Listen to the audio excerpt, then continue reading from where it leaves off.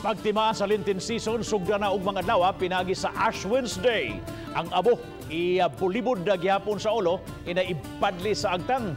Ano ang report ni Faye Marie Dumabok. Sa mga magtutuong katoliko, ugma ng sugod sa mga kalihukan na lang sa pagtimaan sa Lenten season.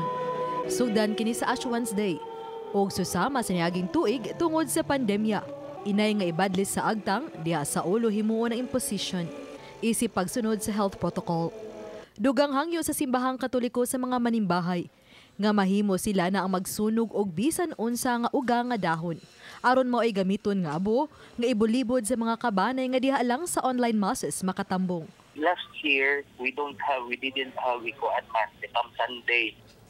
So wala tay lukay. Mga katambong dalho nila ang katong ashes iapil na na og bless og mass na sila mo impose dito sa ilang mga members naka-join sa online mass Regular nga Wednesday masses ang himuon sa mga simbahan.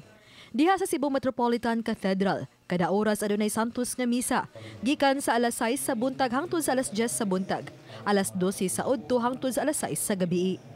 Pabiling 50% sa kapasidad sa simbahan ang tugutang makatambong o kinahanglang naka-face mask o face shield. Subling gipahinumdum ni Father Johnson ang kaminungdanon sa Ash Wednesday. sa abo kagikan sa abo kamo paulit to remind us no nga we have to give up sin and choose the ways of God ha?